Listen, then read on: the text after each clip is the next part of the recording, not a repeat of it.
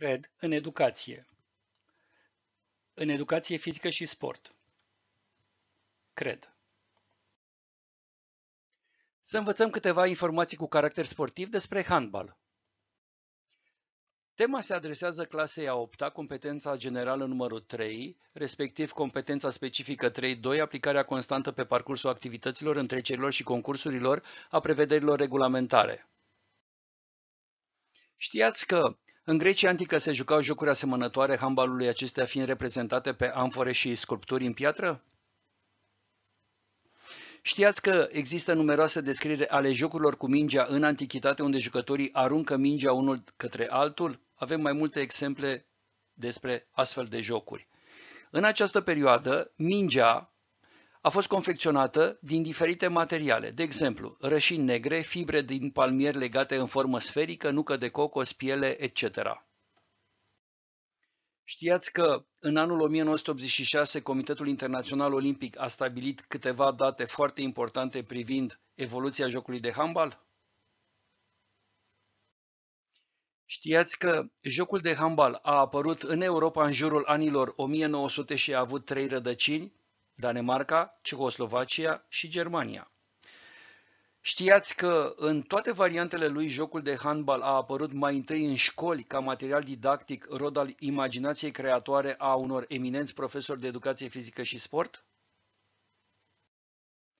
Iată câteva date privind apariția handbalului nordic de sală,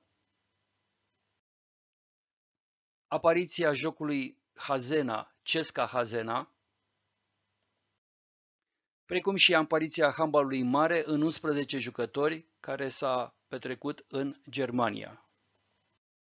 În ceea ce privește apariția handbalului în România, putem afirma pe baza unor atestări oficiale că data nașterii jocului de handbal este 18 iunie 1921 pe stadionul central din Sibiu, avându-l ca promotor, prim antrenor, prim arbitru pe Wilhelm Binder, iar ca participanți elevii liceului Bruckenthal și elevele liceului de fete. Iată principalele rezultate obținute de România la nivelul echipelor naționale de seniori pe plan mondial, la feminin și la masculin. Denumirea jocului sportiv handbal provine din limba engleză hand, mână și ball, minge.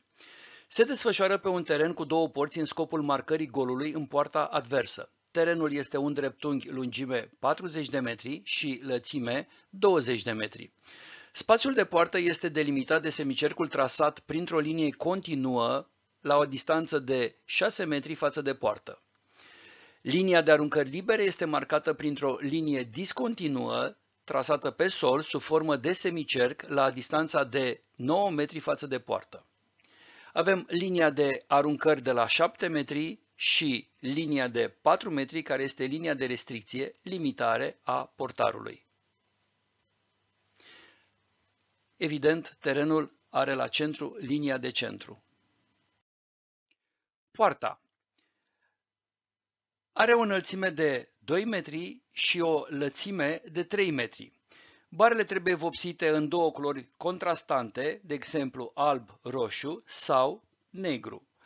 Porțile trebuie să aibă o plasă atașată astfel încât o minge intrată în poartă să rămână acolo.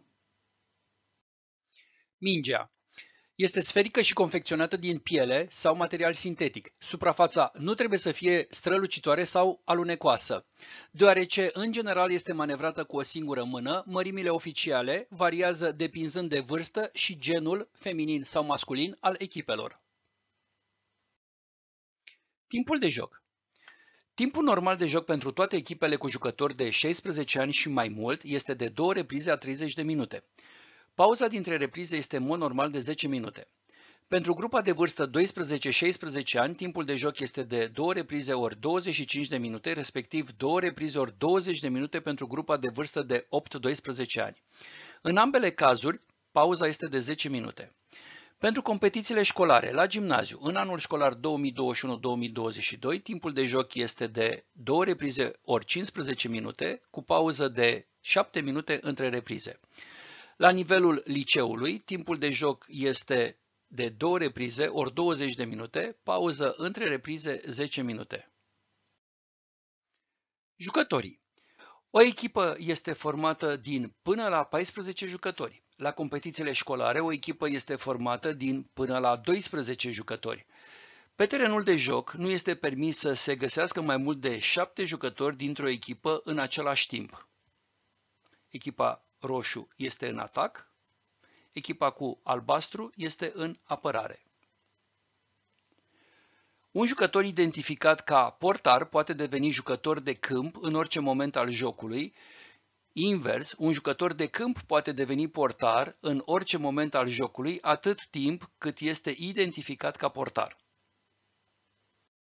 Arbitrii Meciul de handbal este condus de doi arbitri cu drepturi egale. Supraveghează comportamentul jucătorilor și a oficialilor de echipă din momentul intrării acestora în incinta de desfășurare a jocului și până la părăsirea ei.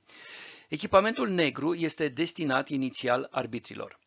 Ei vor fi asistați de un cronometror și un scorer. Cronometrorul are ca responsabilitate principală timpul de joc, time și timpul de eliminare al jucătorilor eliminați. Scorerul are ca responsabilitate principală listele echipelor, raportul de joc, intrarea jucătorilor care ajung după începerea jocului și intrarea jucătorilor fără drept de participare la joc. Alături de handbal a apărut beach handballul sau handballul pe plaje, care a avut primul campionat mondial în anul 2004, primul campionat european în anul 2000 și primul campionat național în anul 2017. Au fost folosite surse bibliografice precum și fotografii cu licență Creative Commons. Cred în educație. În educație fizică și sport. Cred.